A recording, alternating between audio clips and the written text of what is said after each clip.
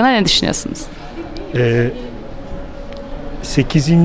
E, Kısadan Hisse Film Festivali olması çok sevindirici tabii.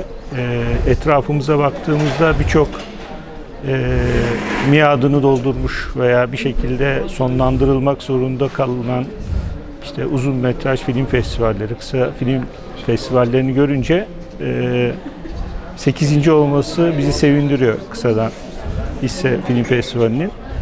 E, geçen sene ve ilk başlarında da zannedersem katılımda bulunmaya çalışmıştım. Aşkın sağ olsun son e, ilk başından beri bu zamana kadar çok gayret göstererek bugünlere getirdi.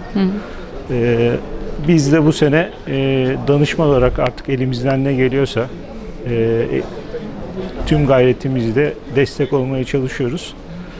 Yani sahip çıkılması gereken e, festivaller, yani kısa film festivalleri çünkü bizler yapımcı olarak yönetmenlerle buralarda tanışıyoruz. Yani kısa filmlerini görüyoruz, yani ufuklarını görebiliyoruz, onlar bizi tanıyor, biz onları tanıyoruz. Ve uzun metraj veyahut da belgesel veya başka işler yapacakları zaman bu ilk adımlarında onlarla beraber olmak bize büyük keyif veriyor. Ve ileriki aşamalarda e, belki uzun metraj çekecekleri zaman da e, tekrardan bir araya gelme imkanları da doğabiliyor. Evet, teşekkür ederim. Peki kısa film sizin için ne ifade ediyor?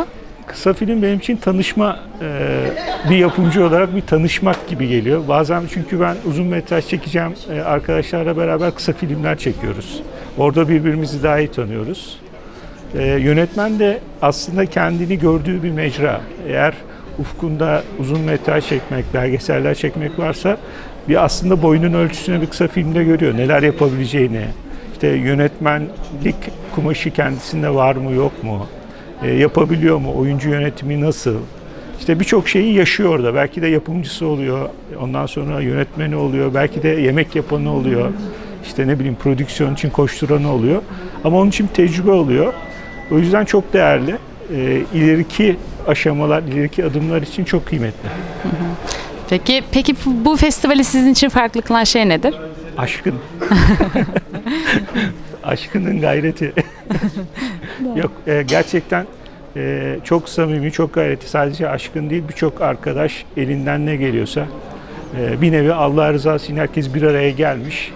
Bir ucundan tutmuş bir işi götürmeye çalışıyor. Biz de böyle bize bir alo davet geldiğinde biz de koşarak gelmeye çalışıyoruz. Bizim için çok kıymetli. Doğru. Kısadan film Peki teşekkür ederiz.